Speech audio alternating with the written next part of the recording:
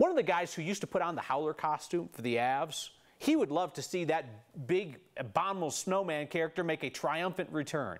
Last week, our Steve Staeger highlighted the rise and fall of Colorado's Bigfoot. Made his debut in 1995 when the Avs moved here from Quebec City.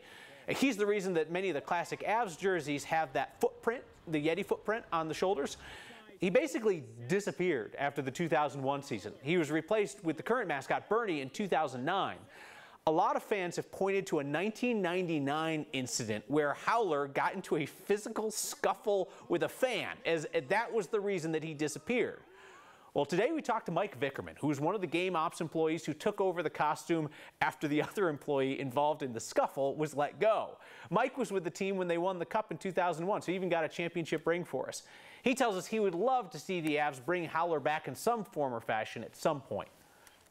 I think the uniqueness of that mascot with the you know the foot on the shoulder and um, it just it really represents Colorado.